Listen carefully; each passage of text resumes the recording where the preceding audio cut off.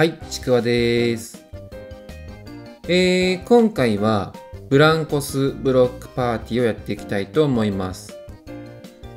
で、以前の動画の時はパソコンのキーボードを使って操作をしてたんですけれども、やっぱりね、結構このゲームは動きが激しいんで、パソコンのキーボードでは限界があるなと思ったんで、今私は任天堂 switch のジョイコントローラーを使って、えー、操作をしています。で、この方法は以前の動画のザ・サンドボックスというゲームをプレイした時にも使った方法なんですけれども、まあもう一度ね、えー、ご説明できればというふうに思います。で、えー、前提としてこちらの方法は Mac をジョイコンにつなぐ方法になりますのでご了承ください。ただあ、Windows の方も同じようなアプリがありますので、そこまでね、えー、操作方法は変わらないと思いますので、まあ参考までにご覧いただければというふうに思います。はい、えー、それではまずはじめに、えー、Nintendo Switch のね、えー、ジョイコン、またはプロコントローラーを用意してください。ただ、任天堂から発売されていない、あの、バッタモンのね、安いコントローラーもあると思うんですけども、私もね、それ持ってるんですけど、そちらではうまくね、接続ができませんでした。まあ、お試ししてみる価値はあるかもしれませんけども、私は設定ができませんでしたので、え、ご了承ください。はい、えー、で、まずはね、えー、Apple Store を開いていただきまして、えー、ジョイキーマッパーと検索してください。JoyKeyMapper。これですね、 JoyKeyMapper。こちらをインストールします。で、Windows の方は、 Game Controller Key Mapper というものがありまして、多分そちらでね、えー、やっていただければ、まあそこまでね、操作方法は違わないと思います。それで、えー、この JoyKeyMapper をインストールしてもらいましたら、こちらを開いてもらいます。で、そうするとここにね、えー、コントローラーのマークが出てきますので、こちらをクリック。で、設定です。はい。そうすると、このような画面が出てきました。で、えー、この状態で、ここですね。こちらをクリックしてもらって、えー、Bluetooth をクリックします。で、えー、Bluetooth の環境設定。はい。この状態になったら、まずはジョイコンのね、これなんて言ったらいいのかな？えっ、と、スイッチに接続する場所ですかね。ガチャンと接続する場所のところに、ちっちゃな黒い丸ポッチのボタンがあると思いますので、そちらを長押しします。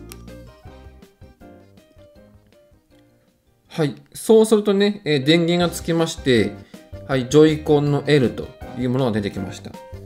もう一個の方もつけます。はい。そうするとジョイコンの R が出てきました。で、こちらを接続、どちらも接続します。はい。これで接続ができました。はい。すると勝手にね、ほら、こうやってポンポンと出てきます。はい。えー、それではまず、設定をしていきますので、こちらの左からね、設定していきます。こちらをクリックして、えー、デフォルトかな？こちらをクリック。で、そうするともう、あとはお好みになるんですけれども、まあ、あ私のね、設定を一回ご説明できればというふうに思います。で、私は基本的に左のスティックは移動で使いたいので、で、まず上のボタン、左スティックの上のボタンなんで、こうまっすぐね、え前に進んでもらいたいなと思いますんで、こちらをクリックして、確かまっすぐ進むボタンは W だったので、こちらを W と押して OK。はい、そうすると、左スティックの上ボタンを押すと W を押すということになりますよという設定ができます。で、次、左スティックの右ボタン。こちらは、確か右に進むときは D ボタンですね。なので、こちらで D と押して OK。で、えー、下は S かな？下は S ボタンで、えー、進むんで S。でこれね、えー、小文字だと反応しないので、大文字でね、入力お願いします。で、S になります。で、左があ A だったかな？左が A。はい。まあ、左ボタンを使うのはまこれぐらいなんで、えー、左ボタンはこちらで OK だと思います。で、次、右ボタンですね。こちらはかなり好みが分かれると思うんですけども、私はまずですね、B ボタン。B ボタンで私はちょっとジャンプがしたいんで、えー、B ボタンはあスペースかな。で、スペースの場合は、ここ入力しないでもこっちの方にね、ありますね。これですね。スペース。これで OK。それで、ちょっとここのね、まあ問題というかネックのところが、ここにね、えー、右スティックって書いてあるんですよね。なんでこの右スティックで、えー、マウスにすると、ちょっとあの、これ伝わらないんですけれども、この状態にすると、任天堂 switch のね、えー、グリグリを使って今、こうマウスを動かしています。なんでこのね、えー、パソコンでもこういう風にグリグリを操作できるんですけども、ちょっとなぜかね、えー、ブランコスブロックパーティーをプレイしてる時には、このグリグリが反応しないんですよね。私このね、グリグリを使って画面操作をしたかったんで、こうマウスのね、設定にしたんですけども、ちょっとこちらがうまく機能しませんでした。なんでね、えー、ちょっと画面操作が難しくなってしまうという欠点があるんですけれども、なので、まあ、私のね、設定の方法としては、このね、えー、A ボタンを私は右にしてます。右っていうのは、これです。この A ボタンを押すと、要はね、えー、右矢印を使ってるということになりますので、画面がね、少しだけビーッとこう右に動くんですよね。ただ、レース中はちょっとこう動きが遅くてあんまり使えないんですけども、まあ、何よりはマシかなっていう感じで、えー、一応使っています。なんで、えー、あとは Y をね、今度は反対に動いてほしいので、こちらの Y のキーを今度は左にします。左の矢印。これか。で、あとは戦う時とかにパンチとかしますので、パンチを私は X にしてます。で、X はあ E ですね。E で、えー、パンチできるので、E と。で、こちらで OK。で、あとは、あダッシュをしてほしいんで、ダッシュはね、私は R にしました。R。で、この場合は、ダッシュはね、えー、シフトでダッシュしてくれるんで、こちら、このシフトってボタンをクリックして、このキーですね、こちらのキーを、私はこれです。このアンダーバーかな。で、これちょっとね、この設定の方法で、ここにね、シフトっていうボタンがないんですよね。で、入力もちょっとできなかったんで、シフトって来ないですよね。なかったんで、うん、ないですね。なので、こちらをね、クリックして、まずはシフト。で、キーは、まあ適当なね、えー、こんな感じのこのアンダーバーのやつを使えば、多分何も反応しないので、で、これシフトと変なボタンをね、設定してしまうと、R を押したときに、シフトと何かこのボタンを押したというふうに認識してしまいますので、こう何もね、えー、反応をしないキーに設定する必要があります。なので私はこちらのアンダーバーを設定していました。で、こちらで OK。はい。えー、で、こちらで設定は終わりになります。まあ結構簡単でしたよね。はい。えー、それでね、またブランコスブロックパーティーに戻ってきて、え、ちょっとね、まあ、お試ししてみましょう。はい。えー、そうするとね、ちゃんと左のボタンをこうね、えー、押すと左に進む。右を押すと右に進む。上を押すと上に。下を押すと下に進むと。で、AB ボタンを押すとこうジャンプしてくれると。で、A ボタンを押すと、ほら、こんな感じでね、画面を少し切り替えてくれる。ただ、上下ですね、えー、上下ができないんで、この上下をこうするときは、このやっぱりね、マウスとかを動かす必要があるんですけども、なのでゲームによってはあこのコントローラーを操作もしつつマウスもね、えー、使って、えー、画面を切り替えるということも必要になってしまいますけども。まあ全然ね、えー、キーボードを操作してね、えプレイするよりかは全然マシですのでまあぜひ、任天堂 switch のね、えコントローラーを持ってる方は使ってみてはいかがでしょうか。あと R か。ほら R ですね。ちゃんとこのダッシュもしてくれますね。やっぱりだいぶね、操作はこれで違いますね。かなりこれだけでも楽になります。すごい、街が大きいですね、本当に。しかしここは。はい、これでコントローラーの設定が終わったんで、ま、以前よりかはね、多少マシになったと思いますので、こちらでね、えー、もう一回プレイできればというふうに思います。で、その前にですね、ちょっとご紹介したいのが、2日目にね、私ゲームプレイしてたら、このね、えー、シェルフのところにあるんですけども、ほら、もう1体ね、えー、ブランコをもらいました。なんで結構ね、えー、ゲームをプレイしていくと、それなりにブランコをもらえるのかもしれませんね。で、ちょっと試してみたかったのが、これなんかね、このお互いのブランコを合成できるんですよね。これちょっとまあ、せっかくなんで試してみたいかなと思うんですけども、その方法としては、こちらのね、えブランコをクリックしてもらって、え、このマッシュアップですね。このマッシュアップを使うと、こっちの人は誰にすんのっていうので、例えばじゃあこいつにしますと。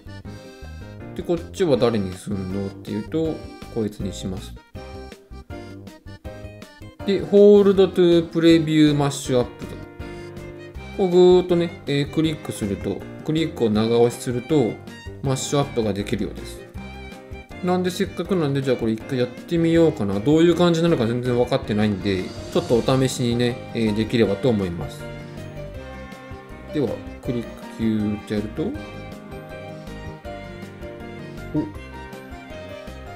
ぐるぐる回って、おー、なんだこれ。分解されて、お、吸収された？なんか吸収されましたね。ガムボール、プッシュ、プラム、ガムボール。ようわからんな、これ。ようわからんけど、これを押すと、お、色が変わった。これを押すと、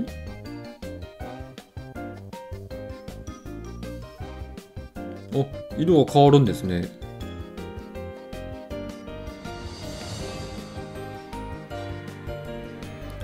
黒がいいかな。はい、これにします。これで、hold to accept。もうこれで、えー、マッシュアップが成功しましたよってことですかね。これはこっちしか選択できないんで、こっちを選択します。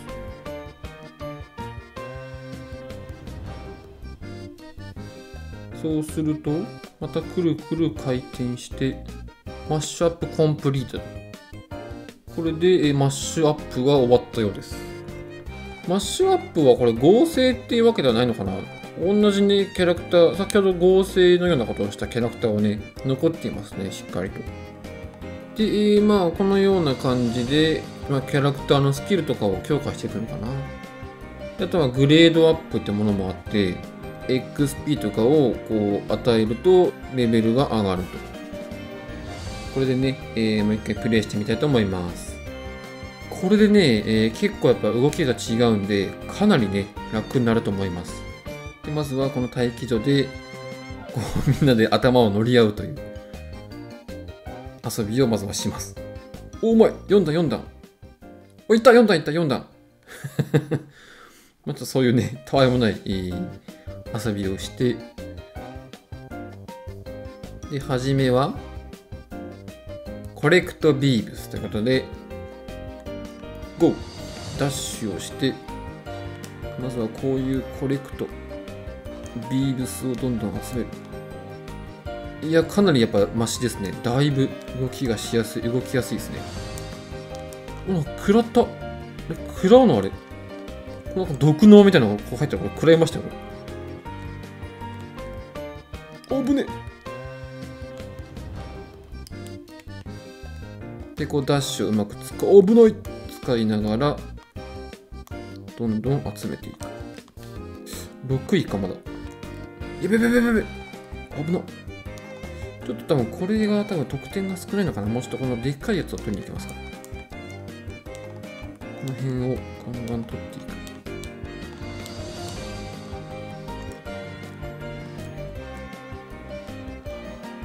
く。落ちちゃった。おおやられちゃった。あの毒沼の上はあれかなのかなポイントが高いのがいっぱいあるのかな。だからみんな多分リスクを冒してあの毒沼にチャレンジしてるんですかね。ちょっと私はあリスクを冒さずにこの辺のビーブスをガンガン集めます。いべべべべべべべ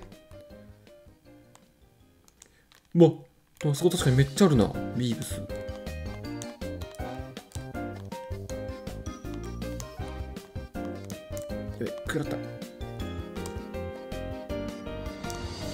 ね画面の動きがねちょっとこれだと遅いんですよね。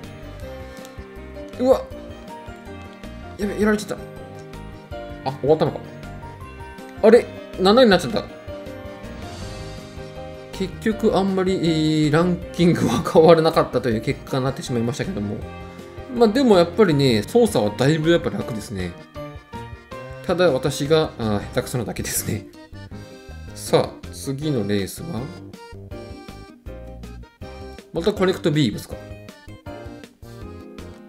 ？GO このね面がねほらすっごいいっぱい面があるんですよね。これすごいですよね。この Collect Vibes だけでもね結構いっぱいあったりあとはね、えーレースも相当なコースがいっぱいあっておそうこれ。いろんなね、えーコースを楽しむことができます。おバット持った。バットを持ったぞ。うわ上に登れない。上に行った。登った。これをキャッチして。ああ落ちる。ほら結構このね細々としたね操作ができるようになるってね。やっぱコントローラー設定しておくとやっぱだいぶ楽ですね。あのパソコンのキーボードであんなね細い場所ね登れないんでかなり楽になりました。高得点のものを狙っていった方がいいんでこういうものを取っていくと。まだ6位だな。まだ6位。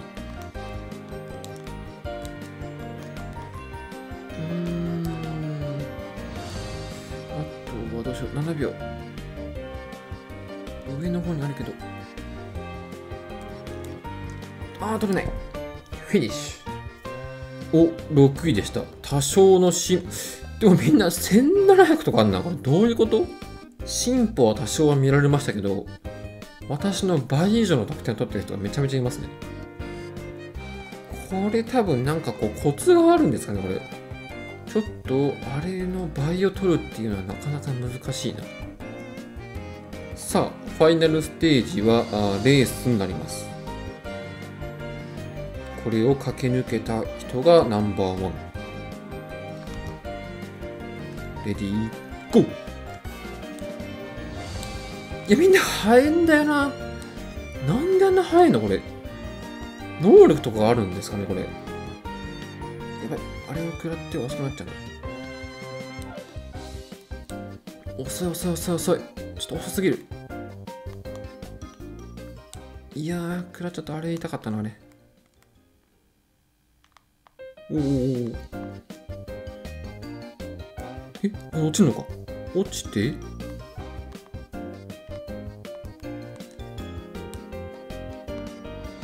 これねこの緑色を取るか取らないかでねだいぶ速度が変わりますね。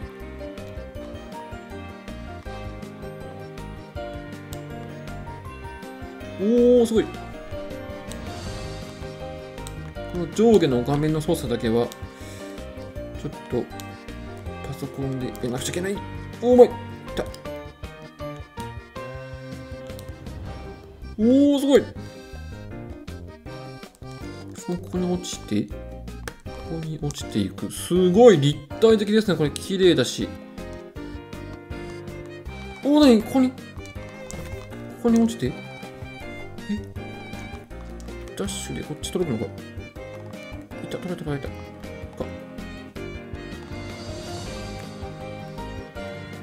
いや、むずいな、この辺の面も。なんだこれ、火の玉が転がってきてる。火の玉が転がってきた。ただ、誰もいない。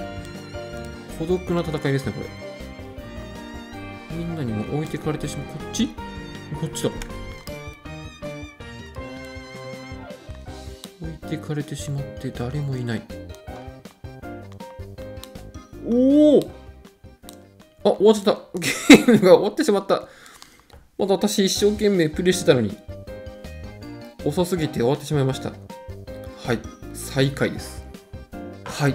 ということで、えー結局はコントローラーを使ってもおダメでしたということなんですけども、やっぱりね、キーボードをね、操作してえーやるよりはだいぶ楽なんで、なのでぜひね、えー、Nintendo Switch のコントローラーを持ってる方いらっしゃいましたら、使ってみてください。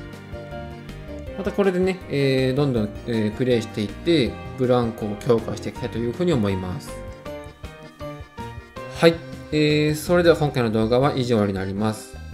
ご視聴ありがとうございました。